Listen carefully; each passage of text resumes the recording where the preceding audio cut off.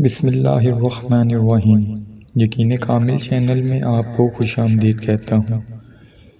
ख़वान हजरात, आज मैं आपके साथ रजब का एक बेहतरीन वजीफ़ा शेयर करने लगा हूँ। इन शजल इस वजीफ़ा की बरकत से आपकी तमाम मुश्किल हल होंगी और आपकी तमाम दिल्ली दुआएँ आरजुएँ इन शजल बारगाह इलाही में कबूल होंगी। वजीफ़े का तरीका ये है कि आपने